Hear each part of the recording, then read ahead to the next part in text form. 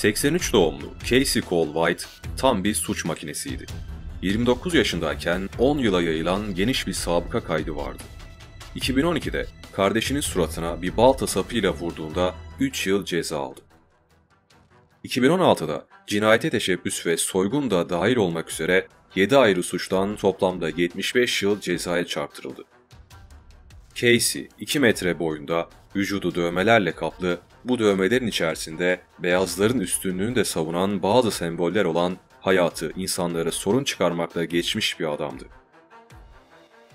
2008'de Casey'nin kız arkadaşı evinde ölü bulundu. O sırada Casey ile aynı evde yaşıyorlardı. Polis bu ölümü bir intihar olarak değerlendirdi. Ancak kızın ailesi onu Casey'nin öldürdüğünü düşünüyordu. Casey yıllar sonra 2020'de Alabama'da bıçakla öldürülen 59 yaşındaki Conor Ridgway için bir itirafta bulunmak istediğini söyledi.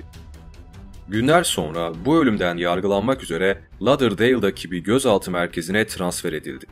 Ancak nedendir bilinmez daha sonra itirafını geri çekti ve akli dengesinin yerinde olmadığını, bu yüzden saçmaladığını, kimseyi öldürmediğini iddia etti. Dostlar lütfen abone olmayı unutmayın. Desteklerinizi bekliyorum. İyi seyirler. Casey'nin transfer edildiği bu gözaltı merkezinde müdür yardımcısı olarak çalışan Vicky White adında bir kadın vardı. 57 yaşındaki Vicky, infaz memuru kariyerinin tam 17. yılındaydı. Her şey istediği gibi gittiği takdirde Nisan 2022'nin son günlerinde emekli olacaktı. Herkesin takdir ettiği, son derece çalışkan, özverili, insanlara karşı güler yüzlü ve iyi kalpli bir kadındı. 17 yıllık görev süresinde 4 kez yılın çalışanı ödülünü aldı. 2022'de yani son senesinde 5. kez bu ödülü almak için çalışıyordu.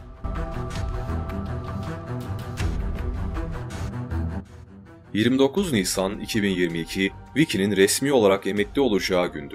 Bir gün önce emeklilik evraklarını yetkililere teslim etmiş, onlara bir sahil kasabasına yerleşme planlarından bahsetmişti. Resmi prosedürlere bağlı olarak emekli olma süresi biraz daha uzayabilirdi. Belki bir ya da iki gün. 29 Nisan 2022'de saat sabah 8.47'de 5 numaralı araç 7 mahkum eşlik eden iki gardiyanla beraber cezaevini terk etti. 9 dakika sonra da 2 numaralı araç 5 mahkum eşlik eden iki gardiyanla beraber cezaevini terk etti. Bu iki araç gittikten sonra Vicky White cezaevi çıkış birimine geldi ve Casey White adlı mahkumun adliyeye götürülmek üzere hazırlanmasını söyledi. Bir görevli Casey'i hücresinden çıkardı. Ellerine kelepçeler, ayağına prangalar taktı ve onu çıkış birimine getirdi. Vicky diğer gardiyanlara Casey'i bir akıl sağlığı değerlendirmesi için adliyeye götüreceğini bildirdi. Cezaevi prosedürlerine göre Casey'e en az iki gardiyan daha eşlik etmeliydi. Ancak Vicky cezaevindeki konumunu devreye soktu ve gardiyanların itiraz etmesine müsaade göstermeden Casey'i araca bindirdi. Cezaevini terk ederken Casey White'ın ellerinde kelepçeler, ayağında ise prangalar olduğu görülüyordu. Casey yetkililere o gün kendini pek iyi hissetmediğini, bir doktora görüneceğini de söylemişti. Neticede sabah 9.41'de Vicky ve Casey araca bindi ve cezaevini terk etti. Güvenlik kamerası görüntüleri onların cezaevinden ayrıldıktan 8 dakika sonra Florence alışveriş merkezinin otoparkına girdiklerini gösterdi. Saat 11.34'te bir polis Vicky'nin kullandığı polis aracını gördü. Ancak aykırı bir durum olduğunu düşünmediğinden bunu pek önemsemedi ve herhangi bir yere bildirmedi. Bu polis aracı daha sonra yetkililer tarafından çekilecek ve bir otoparka kaldırılacaktı.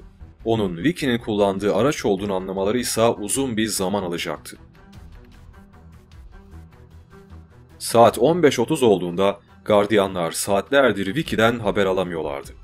Durumu öğrenmek için telefonla aradıklarında çağrının doğrudan sesli mesaja yönlendirildiğini fark ettiler. Ne Vicky ne de Casey ortada yoktu. Yetkililer polis aracının adliyenin güzergahında ilerlemediğini fark ettiler. Daha sonra Casey adına adliyede herhangi bir randevu, duruşma ya da değerlendirme olmadığını anladılar. İlk düşündükleri şey Casey'nin Vicky'yi zor kullanarak kaçırmış olabileceğiydi. Vicky'yi zarar görmeden bulmak ve Casey'i yeniden cezaevine getirmek için hemen eyalet çapında bir insan avı başlattılar.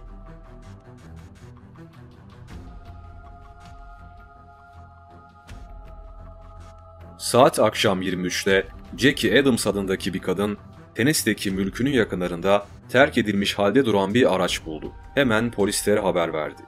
Polisler bu aracı çektiler ve günler sonra aracın Vicky'ye ait olduğunu açıkladılar. Burası kaçtıkları tesisten 160 kilometre uzaktaydı. Alabamalı yetkililer bu esrarengiz kayboluş hakkında hemen bir soruşturma başlattılar. Herkes bu kaçışı çevreleyen koşulları merak ediyordu. Vicky bir kurban mıydı yoksa ona yardım ve yataklık mı ediyordu? Araştırmalar hemen bir sonuç verdi. Elde edilen ilk çarpıcı bilgi Vicky ile alakalıydı. Vicky günler önce 4 dönümlük mülkünü 95 bin dolara satmıştı. Daha da tuhafı mülkün ortalama değeri 240 bin dolarken Vicky onu yarı fiyatından bile daha ucuza satmıştı. Neden? Bu acelesinin altında yatan sebep neydi? Neden aniden paraya ihtiyacı olmuştu? Vicky mülkünü sattıktan sonra annesinin yanına taşındı. Ekipler dakikalar sonra önemli bir ayrıntı daha elde ettiler. Vicky satış sonrasında eline geçen parayla ateşli silahlar, erkek giysileri ve araçlar da dahil olmak üzere birçok eşya satın almıştı. Bir ara cinsel içerikli eşyalar satan bir mağazaya bile girdi. En dikkat çekeni aldığı ve kiraladığı arabalardı. Bu andan sonra polisler tahtada Vicky'nin yanına yazdıkları kurban tanımını sildiler. O bir kurban değildi. Aksine mevcut konumunu kullanarak bir suç makinesini dışarıya salan, görevine ihanet eden, hem kendi hayatını hem de diğer insanların hayatını riske atan bir düzenbazdı. Soruşturma esnasında Vicky'nin Casey'e fazladan yiyecek temin ettiği, onu diğer mahkumların erişemediği alanlara soktuğu, ona özel muamele yaptığı anlaşıldı. Diğer gardiyanlar Casey'nin ikili oynamayı çok iyi bildiğini, gardiyanların sempatisini kazanmak için sürekli iyi çocuk modunda takıldığını aktardılar. İkili aylardır telefonla iletişim halindeydi. İlişkilerinin boyutu tam olarak bilinmiyordu. Vicky eşinden boşanmıştı. Ancak eşi bu yılın başında Parkinson hastalığından ölene kadar onunla beraber yaşadı. Dostları bu ölümün onu derinden sarstığını ve psikolojisini bozduğunu düşünüyorlardı.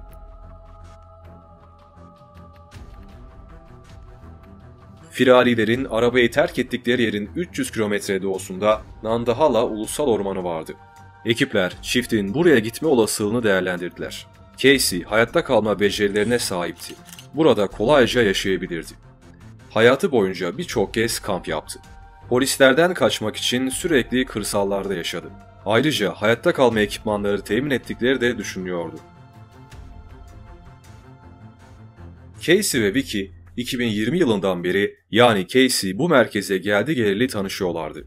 Geçen zaman içerisinde belli ki yakınlaştılar. Bir evreden sonra Vicky, Casey'den hoşlanmaya başladı. Romantik ilişkilerinin Casey tesise geldikten sadece iki ay sonra başladığı düşünülüyordu. Vicky muhtemelen Casey'nin tesiste ayrıcalık elde etmek için her gardiyana yaptığı rutin kurlardan etkilendi. Casey ona ne söyledi de böyle bir şey yapmayı ikna etti muamma. Vicky'yi cezaevinden çıkış bileti olarak gördü, bir şekilde onu ikna etti ve tarihe geçen o trajik kaçış planını devreye soktu. Cezaevi müdürü de şaşkın bir haldeydi.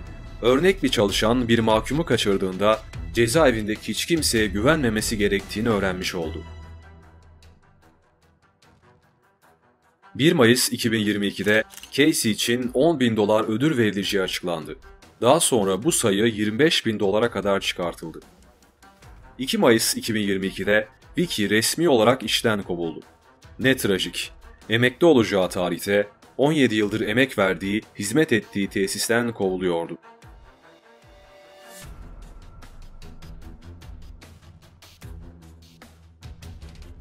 Casey, itirafta bulunduktan sonra Lauderdale'a getirildi ve buraya geldikten hemen sonra itirafını geri çekti. Acaba her şeyi Lauderdale'a gelmek için mi yaptı? Vicky'yi önceden tanıyor muydu? İkisinin de soyadı White'tı. Ancak yetkililer çok daha önceden birbirlerini tanıdıklarına dair herhangi bir bilgiye, belgeye erişemediler. Casey'nin annesi Connie şu açıklamayı yaptı. Bana hiç Vicky'den bahsetmedi. Daha önce bana bir mektup yazdı ve Richway'in evine zorla girdiğini, onu öldürdüğünü itiraf etti. Ama bu bir yalandı. Sadece bulunduğu cezaevini hiç sevmiyordu. ve ortamını değiştirmek istiyordu. Yıllar önce Casey ile aynı cezaevinde yatmış, onu çok iyi tanıdığını iddia eden Robert McVeigh basına onu anlattı. Onun neler yapabileceğini biliyorum. Çok tehlikelidir. İnsan hayatına saygısı yoktur. Anlaşılması çok zor biridir. Ben onunla aynı odada kaldım. Korkunç psikoz patlamalarına tanık oldum. Psikotik olduğunda günlerce uyumazdı. Çok paranoyak, güvenilmez, şiddete eğilimli bir hale gelirdi. Bir keresinde başka bir mahkumla beraber bir adama saldırdılar. Olayın ardından Casey hücreye konuldu. Biz hücreye girenlere cezaevi içindeki gerçek cezaevine girdiler deriz. Hücrede günde bir saat egzersiz ya da duş hakkınız olmaz. Casey hücredeki 24 saatin ardından kendini kaybetti. Kapıyı dövmeye, gardiyanlara hakaret etmeye ve kendine zarar vermeye başladı. Gardiyanlar onun kendini öldüreceğini anladığından onu oradan çıkardılar. Boyuna göre çok hızlı ve çok sessiz hareket eder. Polisler yanına yaklaştığında elindeki silahı hiç düşünmeden üzerlerine boşaltacağından şüphem yok. 3 Mayıs 2022'de ABD polisi Vicky için tutuklama emri çıkardı. Resmi olarak birinci dereceden cinayetle yargılanan birisinin kaçmasını izin vermekle suçlandı. Aynı zamanda kiraladığı araçlar içinde sahte isim kullandı. 4 Mayıs 2022'de Vicky ve Casey'nin bir arabayla benzin istasyonuna giriş yaptıkları anlar ortaya çıktı. 6 Mayıs 2022'den sonra eyalet genelinde yürütülen insan avı ülke geneline çevrildi. Aynı gün Vicky'nin şahsi aracının bulunduğu mülke iki ekip ve helikopterler gönderildi. Vicky'nin buraya geri döneceğini düşünerek saatlerce mülke gelmesini beklediler. Bir ekip kapı kapı dolaştı ve sonunda bir dere yatağına yönlendirildi. Buradan güçlü, çürümüş et kokusu geliyordu. Akbabaların bölgede olduğu belliydi. Ekipler dereye vardı ancak insan bedeni bulamadı. 2019'da Casey'nin avukatlığını yapmış olan Daily Bryant olayı şöyle yorumladı. Casey daha önce de cezaevinden kaçtı. Tesisten çıktıkları esnadaki görüntülere bakarsak Casey'nin beden dili bir şeyler saklayan biri gibi görünmüyor. Sadece aceleci ve endişeli. Vicky ise ondan daha da endişeli görünüyor. Casey'nin cinayete teşebbüs, adam kaçırma, soygun ve hırsızlık gibi vukuatları var. 6 Mayıs 2022'nin öğle saatlerinde Texas Williamson Şerif Ofisi bir tweet attı ve iki kaçağında bölgemizde olduğuna dair hiçbir işaret yok dedi. Bir teoriye göre Vicky Casey'e peruk takarak onu yaşlı bir kadın kılığına soktuğundan bulunmaları epey bir zordu. Görüntüleri sosyal medyada, gazetelerde ve televizyonlarda çok sık yer aldığından kendilerini kamufle etmişlerdi. Daha sonra çiftin kaçarken kullandığı ikinci araç Tennessee'de terk edilmiş bir halde bulundu. Aracın yanında şapka, güneş gözlüğü, pembe bir gömlek ve ten rengi pantolon giyen bir adam görünüyordu. Muhtemelen Casey'di. Çiftin kuzeye doğru giden mavi Ford marka bir kamyonete geçtiği ve güzergah boyunca birkaç motele giriş yaptığı anlaşıldı. Polisler güvenlik kameralarını incelediklerinde Vicky White'ın sarı saçlarını siyaha boyadığını fark ettiler. Firariler en son Indiana'ya gittiler ve burada da bir motel kiraladılar. Vicky, odasını kendilerine vermesi için eski bir hükümlüye 100 dolar verdi. Adam onların kaçak olduğunu bilmiyordu. Çift motel odasında 14 gün kalmak için nakit para verdi. Yetkililer Casey ve Vicky'yi silahlı ve tehlikeli olarak lanse ettiler. Hatta şiddet eğilimlerinin çok yüksek olduğunu, silahlı kolluk kuvvetlerinin bile onlara temkinli yaklaşmaları gerektiğini belirttiler.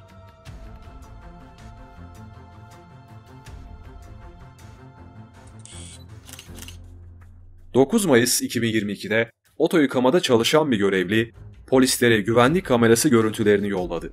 Görüntülerde Casey ve Vicky'nin araçlarını yıkadıkları anlaşılıyordu. Gelen bir başka görüntüde de çiftin bu kez Cadillac marka bir araca bindikleri anlaşıldı. Gelen ihbarlar neticesinde artık nerede oldukları belliydi. Bir polis ekibi onları yakın takibi almak için yola çıktı.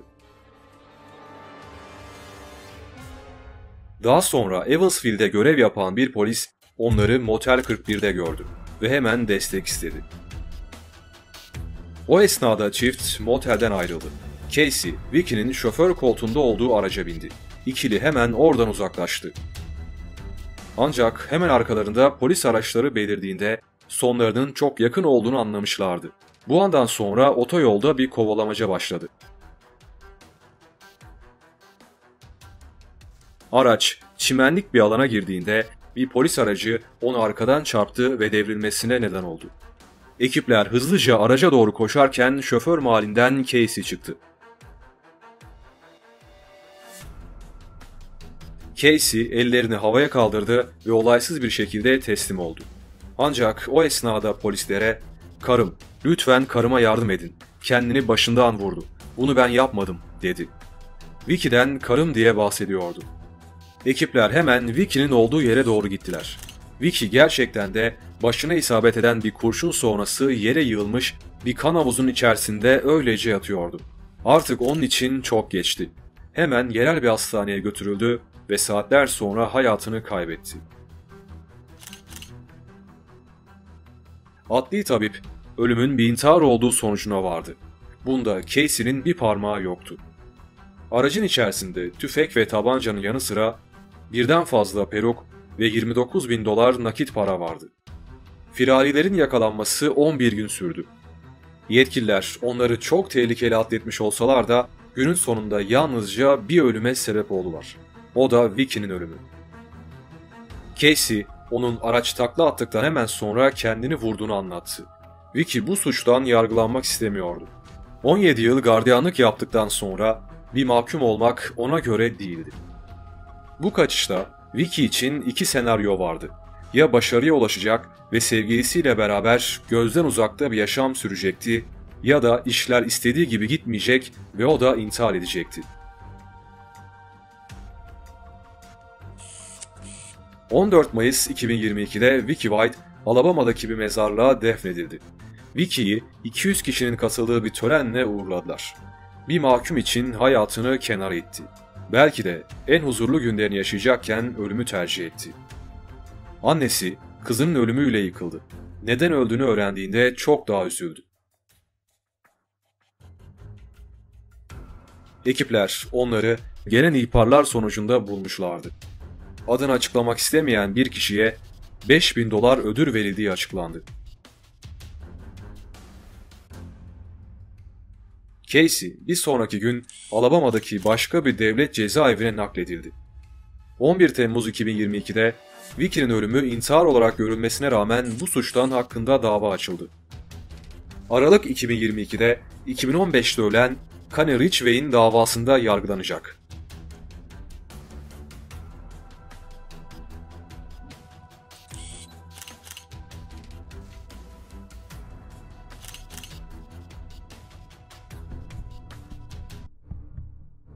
12 Haziran 2017 Rod Farnham, Dublin Kieran Green 30 yaşındaydı.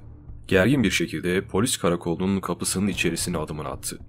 Gözlerindeki endişe ağzından çıkacak sözlerin ağırlığını yansıtıyordu. Kieran şöyle dedi. Dağlardaki o şey bendim. Bu itiraf yalnızca iki gün önce Wicklow dağlarında yaşanan bir olayın perde arkasını aydınlatacaktı. 10 Haziran tarihinde Kristen ve Jonathan Murphy kardeşler Seligap yakınlarındaki Old Bogey'de aileleriyle beraber piknik yapıyorlardı. Gün batımına doğru piknik malzemelerini toplayıp arabalarına döndüklerinde arabalarından birinin camının kırık olduğunu, içerisindeki bir el çantasının çalındığını fark ettiler. Çantayı aramak için oraya geri döndüklerinde Kristin daha önce gördüğü ve hayvan kalıntısı sandığı bir şey fark etti. O anlarda kardeşi Jonathan'ı yanına çağırdı. Bu şeye yakından baktıklarında bu korkunç manzaranın aslında insan kalıntısı olduğunu gördüler. O anlarda hemen polis arandı. Bir sonraki gün yani 11 Haziran'da bu olay tüm ülkeyi sarsacak bir haber olarak medyada yer aldı. Noel Wayne adındaki bir isim aynı bölgede gezindiklerini, şelale yakınlarındaki nehrin kenarında bir kayanın üzerinde hayvan organlarına benzeyen bir şey gördüklerini polise bildirdi. Ancak bu keşif aslında insan kalıntılarına ait olduğunu ortaya çıkaracaktı. Dostlar lütfen abone olmayı unutmayın. Desteklerinizi bekliyorum. İyi seyirler. 12 Haziran pazartesi gününde Kieran Green'in polislere yaptığı itiraf olayın seyrini tamamen değiştirdi. Ceset kalıntılarının kayıp olarak bildirilen Patricia O'Connor'a ait olduğu anlaşıldı. O anlarda polisler cesedin genç bir erkeğe ait olduğunu düşünüyorlardı. Kieran'ın hikayesi yetkililerin şüphelerini doğrulamak için derinlemesine bir soruşturma başlatmasına sebep oldu. Patricia O'Connor, Kieran'ın sevgilisi olan Louise O'Connor'ın annesiydi. Bu isimler aynı evde yaşayan karmaşık bir aile yapısının parçalarıydı. Bu ev, birbirlerinden ayrı yerlerde yatan Patricia ve eşi Gasta dahil olmak üzere 8 kişilik büyük bir aileyi barındırıyordu.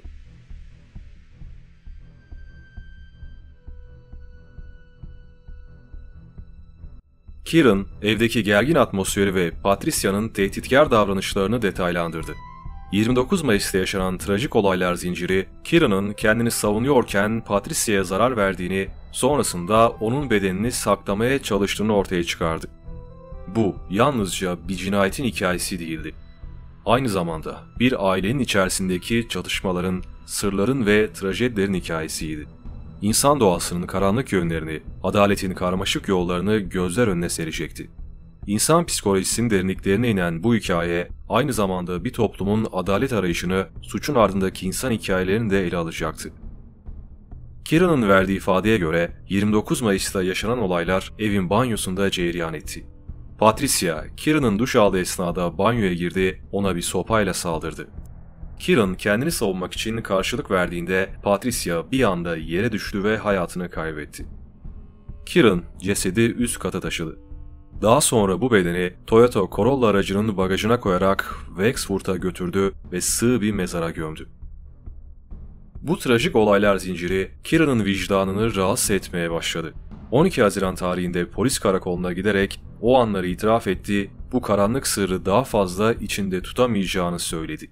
Yetkililer onun verdiği ifadeyi dikkate alarak Patricia'nın kayboluşuyla cesedinin bulunuşu arasındaki bağlantıyı incelemeye başladı.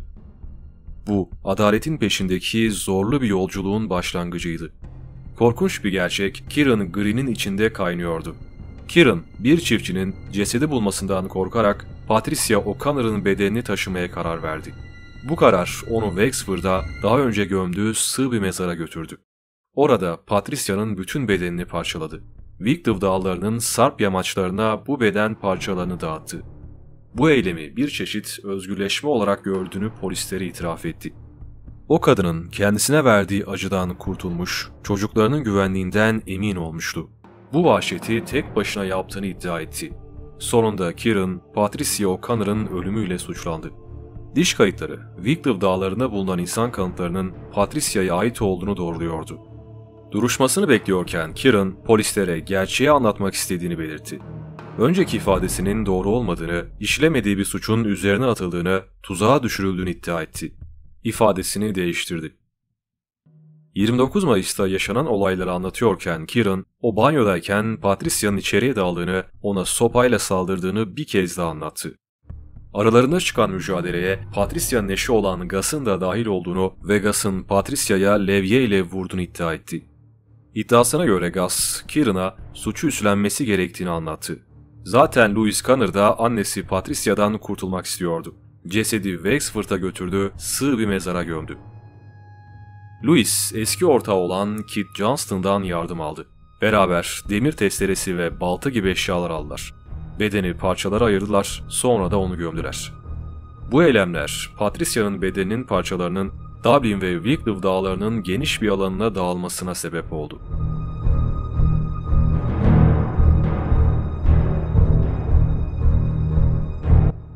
Kieran, cinayetin örtbas edilmesinde başka bir insanın da rol aldığını anlattı. Adı Stephanie O'Connor'dı. Kieran'a göre Stephanie, olay gecesinde Patricia gibi giyinerek Patricia'nın evden ayrılmış gibi görünmesi için bavulla evi terk etti. Kieran Green'in cinayet davası, İrlanda'nın adalet tarihindeki en çarpıcı olaylardan birisiydi. Mahkeme salonu, suçlamaların ağırlığı altında sessizce bekleyen dört figürle doluydu. Şüpheliler Kieran, Kit, Louis ve Stephanie'di. Onlar Kieran'ın işlediği iddia edilen cinayeti örtbas etmeye çalışmakla suçlanıyorlardı. Gus O'Connor ise karısının ölümünü bildiği halde polise kayıp kişi olarak ihbar etmediğinden dolayı suçunu kabul etmiş 18 ay ceza almıştı. Savcılık, Patricia O'Connor'ın kendi evinin banyosunda 29 Mayıs 2017'de akşam 6.30 civarında 20 dakika süren şiddetli bir saldırıya maruz kaldığını iddia ediyordu. Eski eyalet patolog yardımcısı olan Dr. Michael Kurtz'in ifadesine göre Patricia'nın kafasına en az 3 kez sağlam bir aletle vurulmuş, ölüm nedeni kafaya alınan kün kuvvet travması olarak kayıt altına alınmıştı. Savcılık, Kieran'ın Haziran 2017'de polislere verdiği ifadenin daha gerçekçi olduğunu, Kieran'ın Patricia'yı öldürdükten sonra bedenini gömdüğünü ve parçalara ayırdığını iddia ediyordu. Kieran'ın hikayesini değiştirmesinin sebebi olaraksa cezaevinde duruşmaya bekliyorken Louis ve Kit'in yeniden beraber olmaya başlaması, bu durumunda Kieran'da kıskançlık yaratması gösteriliyordu. Mahkeme sürecinde O'Connor ailesinin evinin yakınındaki başka bir evden elde edilen güvenlik kamerası görüntüleri kanıt olarak sunuldu. Bu görüntülerde 29 Mayıs'ta Louis, Stephanie ve bazı çocukların evden ayrıldığı, Kieran'ın evin perdelerini kapattığı görülüyordu. Aynı gün akşam 9 civarında bir kadının Patricia gibi giyinmiş, elinde bir çantayla evden ayrıldığı, saat 10 civarında elinde bavulla aynı kadının evin arka kapısından içeriye girdiği tespit edildi. Savcılık bu kadının Stephanie olduğunu, Patricia'nın evden ayrıldığı izlerimini yaratabilmek için bu şekilde giyindiğini iddia etti. Ayrıca Dublin'in bir semtindeki mağazadan elde edilen güvenlik kamerası görüntülerinde Kieran ve Kit'in büyük siyah çöp çuvalları, inşaat eldivenleri, bir testere, iki demir testeresi ve bir koruma levhası gibi eşyalar aldıkları görülüyordu. Savcılık bu eşyaların Patricia'nın cesedini parçalamak için kullanılacağını, Kit'in bu eylemlerde Kieran'a bilerek yardım ettiğini iddia ediyordu. Savunma, Kieran'ın ilk ifadesinin yalan olduğunu, ikinci ifadesinin doğru olduğunu iddia etti. Mahkeme sürecinde Kieran'ın zeka seviyesi ve Louis'in ilişkideki baskın rolü tartışılıyordu. Savunma, olayın gerçekleştiği gece Gus O'Connor'ın banyoya geldiğini, Kieran'ın yere düşmesinin ardından Patricia'nın kafasına levye ile vurduğunu öne sürdü. Kieran'ın bu durumda suçu üstlenmeyi kabul ettiği iddia edildi. Louis, Stephanie ve Kit adına yapılan savunma, onların Patricia'nın ölümünden Kieran'ın itirafından iki hafta sonra haberdar olduklarını savundu. Louis olay günü Kieran'ın annesini öldürmesi için değil, Patricia ile kavga etmemek için parka gittiğini anlattı. Ayrıca o gece evden ayrılan insanın Patricia olduğunu iddia etti. Ama savcılık, güvenlik kamerası kayıtlarında görülen insanın Stefani olduğunu, Louis'in polise yalan söylediğini öne sürdü. Stefani ise ön kapıdan çıkan kadının kendisi olmadığını iddia etse de saat 10 civarında eve arka kapıdan bavulla giren insanın kendisi olduğunu kabul etti. Kit ise olay gününde banyoda bazı tamir işleri yaptığını, Kieran'la beraber alışverişe gittiklerini itiraf etti. Ama aldıkları eşyaların amacını bilmediğini iddia etti. Jüri 4,5 saatlik bir müzakerenin ardından Kieran'ı Patricia O'Connor cinayetinden suçlu buldu. Kieran'ın nefsi müdafaa amacıyla hareket etmediğine, Gus'ın Patricia'ya levye ile vurmadığına ve Kit'in cesedi parçalamadığına karar verdiler. Kieran'ın onu öldürdüğüne, cesedini gömdüğüne, onu parçalara ayırdığına inanıyorlardı. Kieran'ı ömür boyu cezaya çarptırdılar. Louise O'Connor ise kızı Stephanie'nin Patricia'nın ölümünü gizlemek için annesinin kılına girmesine izin vermekten suçlu bulundu. Son 6 ayı ertelenmiş olmak üzere 3 yıl ceza aldı. Stephanie O'Connor, cinayetin ardından Patricia'nın ölümünü gizlemek için annesinin kılına girmekten suçlu bulundu. Son 6 ay ertelenmek üzere 2 yıl ceza aldı. Kit Johnston ise cesedin parçalanmasında kullanılan eşyaların satın almasında Kieran'a yardım etmekten suçlu bulundu. 3 yıl ceza aldı. Patricia'nın oğlu olan Richard O'Connor, mahkemede yaptığı duygusal konuşmada annesinin ölümüyle ilgili hissettiklerini ifade etti. Kendisini yıkılmış, kalbi kırılmış ve aldatılmış olarak tanımlıyordu. Ailesinin yalanlarını sindirmenin zorluğundan bahsetti. Duruşma boyunca annesinin kötü bir insan olarak gösterilmesine tepki gösterdi. Bunun ailesi ve dostları tarafından bilinen gerçeklerle çeliştiğini belirtti. Bu dava bir ailenin içerisindeki çatışmaları, sırları ve trajedileri ortaya çıkaran, adaletin karmaşık doğasını vurgulayan bir hikaye olarak tarihe geçti.